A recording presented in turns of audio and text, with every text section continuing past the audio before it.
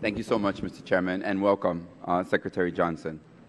Um, I guess I'd like to, uh, first of all, start out by saying that I am uh, disappointed, um, saddened uh, that you are not going to announce in the coming weeks.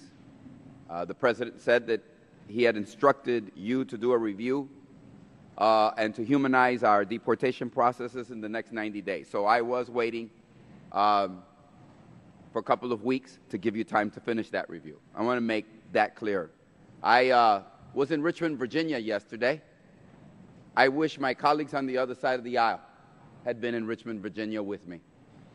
They would have met a woman who has a GPS ankle bracelet, two American citizen children, and I assure you, while she may have, because of the ankle bracelet, you might have thought of her as a criminal, I saw a mom I saw a mother of two American citizen children, and she said, Please help me, and I'm going to help her.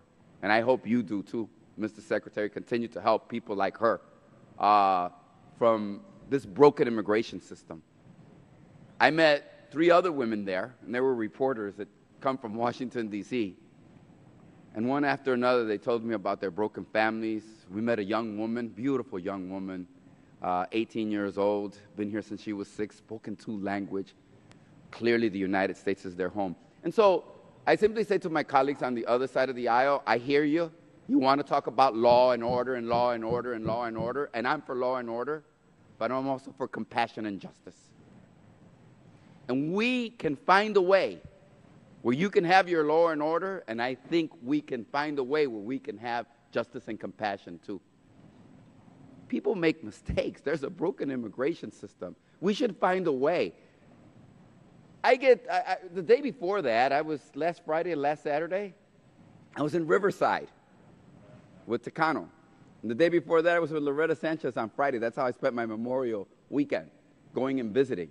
And everywhere there was the cry, Mr. Secretary, from people being deported, from families being devastated, from a community saying, get the work done.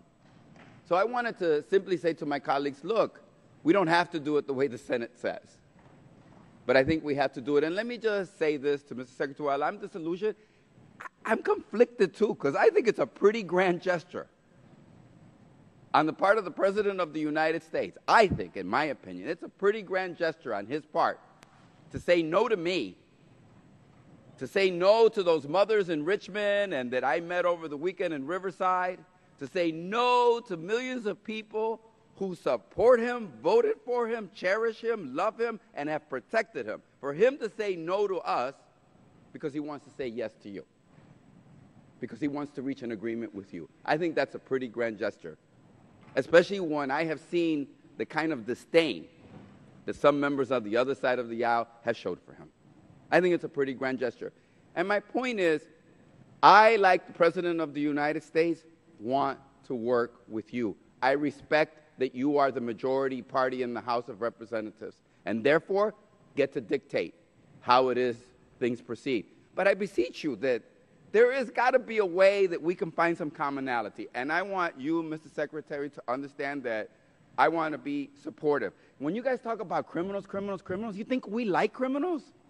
I want to find a seamless process in which you commit a violation of the law. And if you're an immigrant in this country, you pay the price here and you're seamlessly deported from the United States of America. I don't want them here either. But the only way we're going to reach that is if we fix the system completely. Because unfortunately, when you talk about felonies, that they're felons, it is a felony to re enter the United States of America once you've been deported. But who on the other side would not re enter this country to regain your relationship and your love with your wife and your children? Which one of you would not re enter illegally this country? Every one of us would. We love, I've, I've had dinner. I've sat down with members of the other side. I know how much you love your wives and your children. I know how much you cherish your families. I know what you would do. And I think you know what I would do. So let's simply find a way where we can find law and order, and some compassion. And lastly, I just want to say this Mr. Secretary, I'm so happy this is the first hearing. I hope to have many, many more in which I actually ask you questions. but you know what, Mr. Secretary? Look, maybe you don't need my advice, but I know you're going to be just fine as secretary because you come from a great family tradition. And I know one day you're going to see your grandpa again, and he's going to be very proud of when you were Secretary of Homeland Security. Thank you so much for being with us this afternoon and this morning. Chair thanks the gentleman. Recognizes.